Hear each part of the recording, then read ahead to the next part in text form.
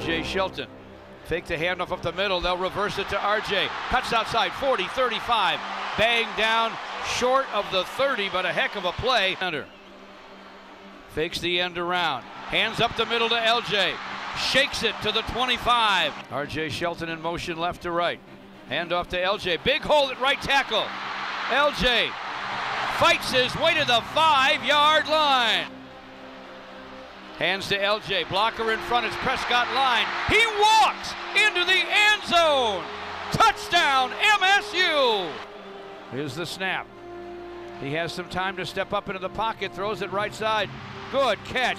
Fingertip catch made Oh, by. Josiah. Great and he dives forward and may have picked up a first down. Down five at the 46 of Michigan. Handoff to LJ. LJ at the 35 angles his way to the left sideline inside the 30. 49's the longest up to now. Here's the boot. Long enough. Wow. It's good. Handoff to Smith. Hit in the backfield. Wow. Ed Davis, the first to pop him. Speight steps back to throw. Throws it across the field. It's going to be picked off. The Spartans get a pick. It's Darian Hicks. Second and four for Michigan. And the handoff goes to Smith. Spartans swarm him down. Play fake. Deep in the pocket to throw.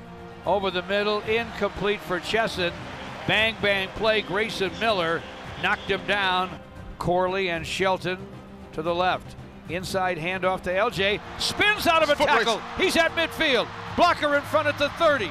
He's at the 25. Evans hit in the backfield as he takes the handoff.